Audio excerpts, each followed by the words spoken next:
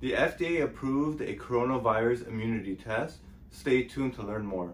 What's up guys and welcome back to the channel. For those of you who don't know, my name is Edgman and I enjoy making these videos about common questions patients have about medications or any healthcare related topic. So make sure to subscribe for more content. Now to the rest of the video.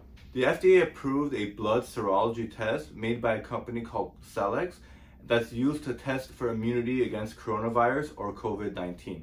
Now, how is this test able to tell if you have immunity against COVID 19 or the coronavirus? What it does is that it looks for antibodies in your blood. As a brief review, your immune system is a part of your body that helps fight against infections or any foreign substances, and it does this in a variety of ways. One way is that it makes antibodies against an antigen.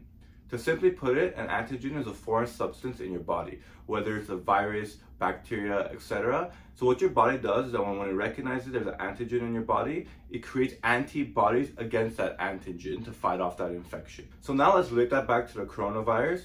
So let's say someone's been infected with COVID-19, whether they're symptomatic, meaning they have symptoms, or they're asymptomatic, meaning they have no symptoms, their immune system will recognize the coronavirus as the antigen in this case, and your immune system should make antibodies against that antigen, which is the coronavirus. So what this serology test does is that it takes a sample of your blood and it looks for those coronavirus antibodies, which will indicate either you have coronavirus or you have had coronavirus and you've recovered from it.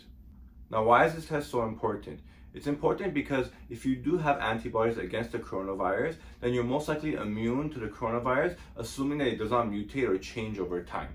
Now let's give one more example. Let's say I take the test and I have antibodies against the coronavirus. That means I don't have to be in quarantine anymore. So if I go out in public and I get re-exposed to the coronavirus, I won't have any symptoms because I have antibodies ready to go to fight off that infection before it actually infects me fully.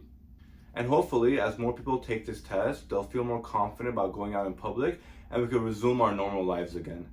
I hope you guys enjoyed watching this video and learned something new. If you guys did, please give me a big thumbs up and make sure to comment any feedback or questions you guys have for me. Until then, I'll see you guys next time.